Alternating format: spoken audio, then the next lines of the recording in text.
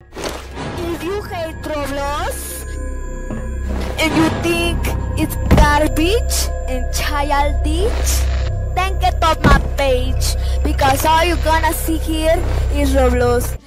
Goodbye!